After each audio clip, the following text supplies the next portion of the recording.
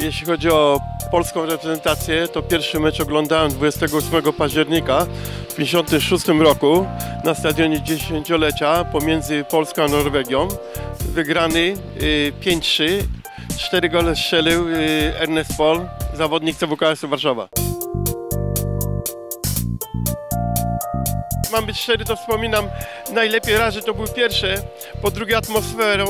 Atmosfera Mistrzostw Świata jak do tej pory jest nie do przebicia. No. Mam nadzieję, że w 2018 roku Yy, może ten, yy, no w 2014 roku będą Mistrzostwa Brazylii i wtedy yy, no po prostu Brazylijczycy może atmosferą przebiją Argentynę.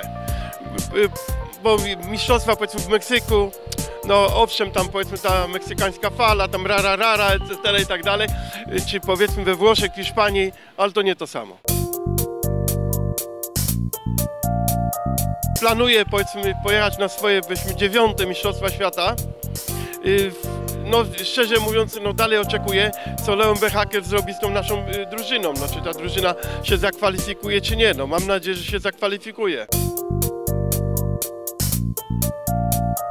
Jeśli chodzi o Leo Benhakera, szczerze mówiąc jestem zawiedziony, tym bardziej, że byśmy y, moim takim powiedzmy ojcem trenerów, nie, był Kaziogórski, także to jest zupełnie, to jest jak niebo i ziemia, no.